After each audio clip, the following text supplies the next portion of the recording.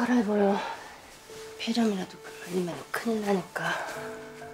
이든이는 자요? 불 꺼진 지 오래됐어요. 자나 봐요. 약 더 안 먹어도 돼요? 이든이랑은 같이 못 지내겠어요. 들키는 줄 알았어. 표정 관리가 안 돼서. 말하는 게 좋을 것 같아요. 오늘은 그냥 넘어갔지만 갑자기 알아서 더 놀래면 어떡해요. 쓰러지기라도 하면 그러니까 보내자고요. 다른 건 몰라도 이든이는 자신 없어. 자식 앞에서 자신 있는 부모가 어딨어요. 당신이 잘 말해요. 잘, 잘 말해라.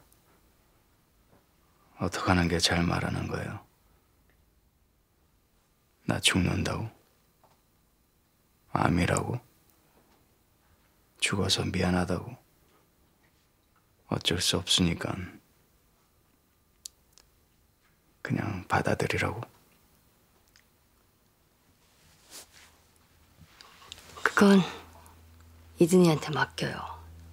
당신은 잘 말하고 쳐다봐주고 많이 안아주면 돼요.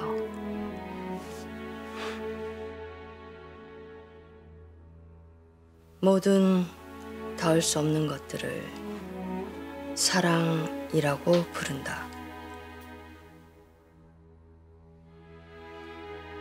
모든 품을 수 없는 것들을 사랑이라고 부른다.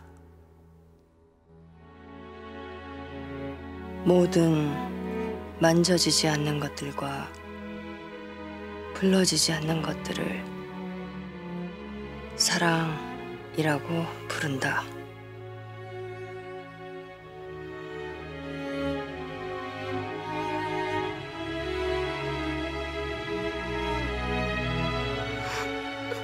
모든 건널 수 없는 것들과 모든 다가오지 않는 것들을 기어이 사랑이라고 부른다.